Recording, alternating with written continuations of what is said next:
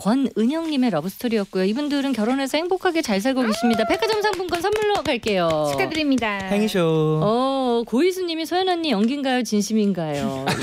네, 제가 안 그래도 그 얘기를 하고 있었습니다, 여러분. 1281님이 저도 민혁 씨 같은 신입 들어오면 매일 야근할 수 있어요. 아유. 예 이다영님 민혁 오빠 목소리 이 정도면 국보로 지정해야 된다 봅니다. 우리도 목소리 얘기 계속 하고 네, 있었습니다. 그 저희가 목소리 너무 좋다고 하시니까 계속 여직원수 하긴 재밌다고. 그러니까 여러분 우리, 우리가 생각하는 명대사가 다 달라가지고, 네, 다 달라가지고, 예, 우리 맞아요. 허영지 씨가 뽑은 가장 마음에 드는 대사 예 저, 미, 민혁. 씨 네. 네. 네네. 한번 읽어주세요. 네. 아까 그거요? 네. 제가 네네. 제가 마음에 들었던 예, 우리 대사. 허영지 네. 씨가 마음에 들어했던 대사 예. 네. 사심이 살짝 들어가. 우리 이제 멜로디 분들 보시라고 다시 네. 한번 해드리는 거예요. 예.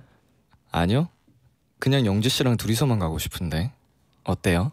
자, 요거였습니다. 그리고 민혁 씨가 어, 좋아했던 명대사, 예, 민혁 씨 본인이 제일 좋아하는 명대사 의외였어요. 들어보세요. 예, 큐.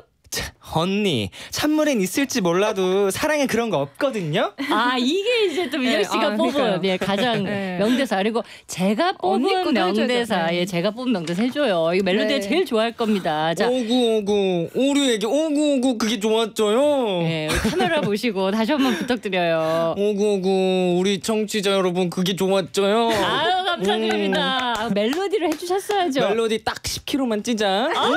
너무 말랐어. 이거지 이거지 자 여러분 투표 저 기가 예. 빨린 것 같아요.